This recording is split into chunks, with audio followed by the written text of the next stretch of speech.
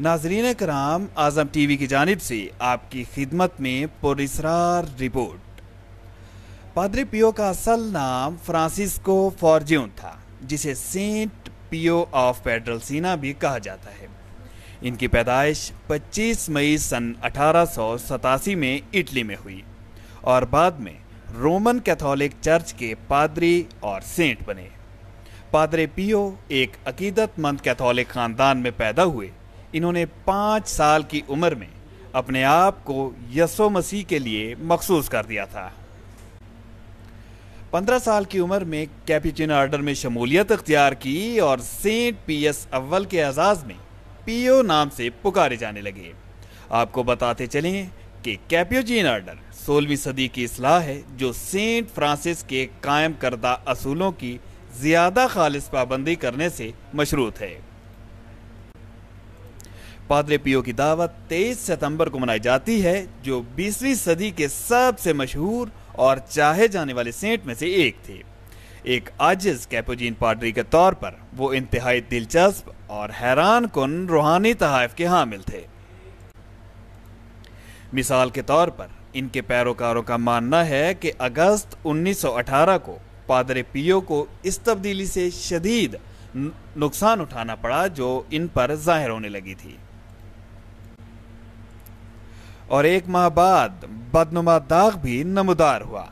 इनका मानना है कि बदनुमा दाग इस शख्स को खुदा की जानब से वसूल होता है, जिसको खुदा की तरफ़ से मोहर लगा दी जाती है। और इस तरह इससे इस शख्स पर भी वही जख्म लगा दिया जाता है, जो यसो मसीह पर लगाया गया था। नाजरीन कराम आपको मालूम रहे कि मजकूरा बदनुमा दाग के लिए सटिग्मा का लफ्ज़ इस्तेमाल किया जाता है जो मसीही तसव्वुफ से मुतसिल है।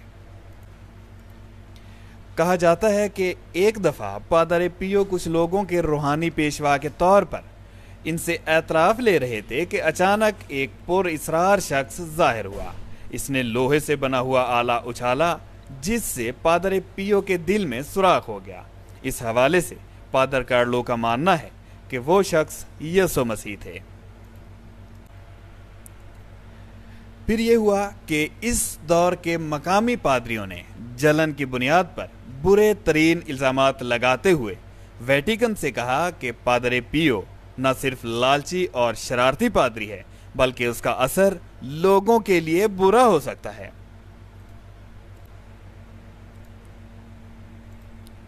इसके नतीजे में वेटिकन ने पादरे पियो पर सख्त तरीन पाबंदियाँ आयद कर दी।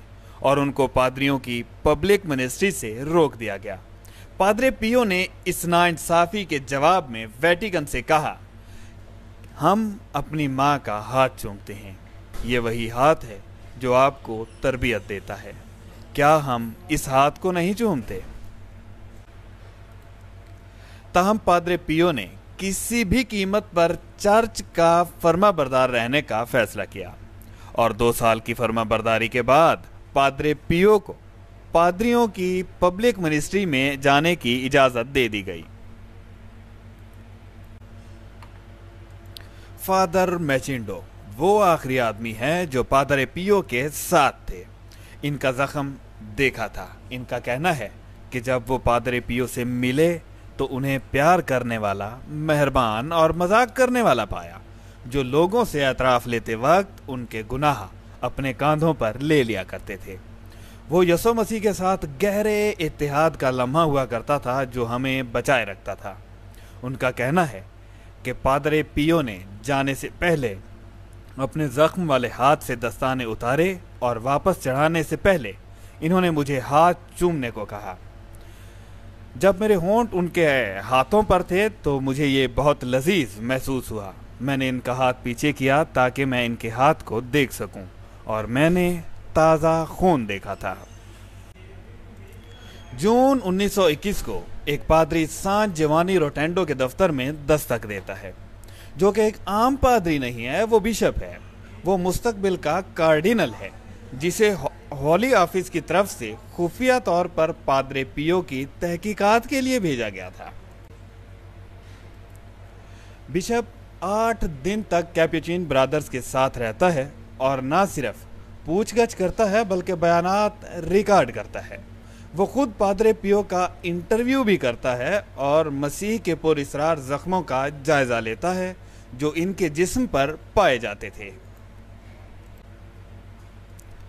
तमाम शवाहद इकट्ठे करने के बाद पादरे पियो की शख्सियत का खाका बनाता है, जिसमें इसके यकीन करने की वजूहत भी शामिल होती हैं कि बदनुमा दाग खुदा की जानब से है। वो अपनी रिपोर्ट और बयान रूम भेजता है, जहाँ वो तकरीबन एक सदी तक दफन रहे। और हालिया तौर पर फादर फ्रांसिस्को कास्टीले की माहिराना तहकीक की बदौलत पूरी तरह से शाये की गई है। इन दस्तावेजात में पेड्री पियो की ज़िंदगी के हर पहलू को इसके हैरत अंगेज और माफूक फितरत तोहफों से लेकर इसकी सेहत तक को भी ज़ाहिर किया गया है। अपने बयानात में वो हलफ के तहत माफूक फितरत करिश्मों का एतराफ़ करता है और ना सिर्फ़ बदनुमा दाग की तफसीली कहानी बहानी बयान करता है, बल्कि इनके रूहानी वालद के खतूत और इनकी ज़िंदगी की तारीख भी शामिल करता है।